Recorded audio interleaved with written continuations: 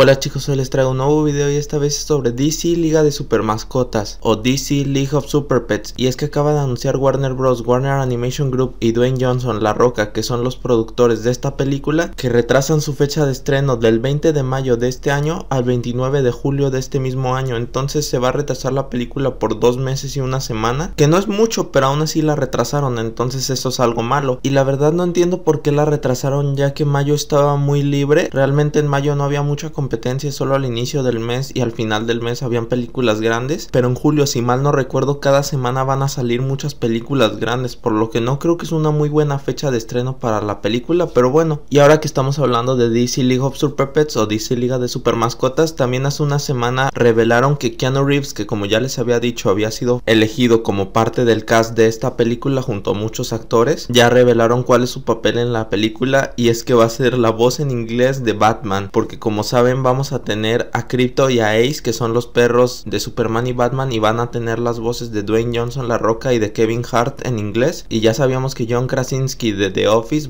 iba a ser Superman en esta película, y ahora sabemos que Keanu Reeves es Batman. Y la verdad escuché su voz y sí le queda a Keanu Reeves ser Batman. Pero bueno chicos, díganme en los comentarios, ¿esperaban esta película y qué opinan de su nueva fecha de estreno? Como ya dije, en mi opinión creo que su fecha de mayo era mucho mejor que la de julio, pero bueno, a la mera todavía no terminaban la película y por eso la tuvieron que retrasar. No dijeron por qué la retrasaron, entonces a la mera y fue por eso. Si fue por eso está bien. Y pues como saben, DC League of Super Pets o DC Liga de Super Mascotas ahora se estrena el 29 de julio de este año exclusivamente solo en cines. Y pues aquí les dejo más videos que pueden ver, se pueden suscribir. Muchas gracias por ver este video, por todo el apoyo. En la descripción están mis redes sociales para que me sigan. Adiós.